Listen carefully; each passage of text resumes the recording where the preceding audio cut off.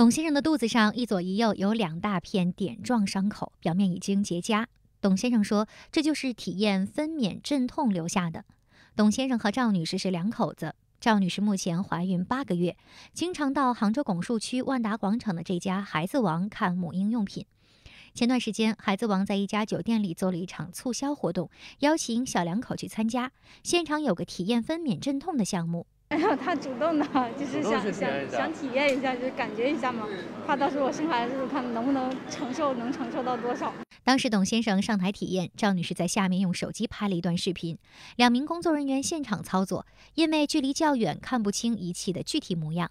好，现在是我们六级啊，这个是呃比前面两个爸爸都是要更厉害一点，直接到六级。一个检仪器。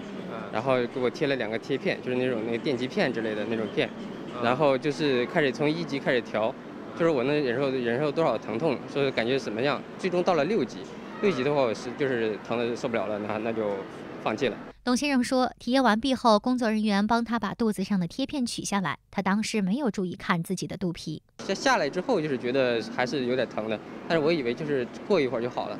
就晚上回去脱衣服的时候，然后看就是那已经基本上已经破了。他这个仪器到底有没有合格的检测呀、检验报告啊、出厂报告啊什么这些东西，这都都是没有的。两口子怀疑用来体验的仪器可能存在问题。记者和董先生夫妇一起找到了杭州万达广场这家孩子王门店。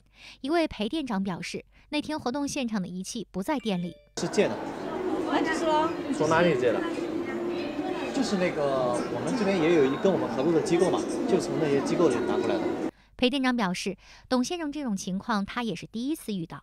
基本上每一次我们举办妈妈班都会有这个震动体验的项目。是吧？这个还是真是头一例。们的体质吧，应该是体质问题。像有些人吃水果，吃水果也有过敏的。而且你那天体验的是电流上，你不要说是过敏，过敏的话过一两天的话是会下去的。嗯，表面不会有创伤的，你知道吗？你那天体验是几级阵痛啊？六到六级。六级，哥们儿你真猛。不是，都到六级了，你这个不是。我到三级我就让他停下来了，因为。感觉这肠子一直在翻。就算就算你到十级，至少也不会造成这种。赵女士提出一千块钱的赔偿诉求，裴店长说会和上级沟通，尽快给出答复。幺八幺八黄金眼记者报道。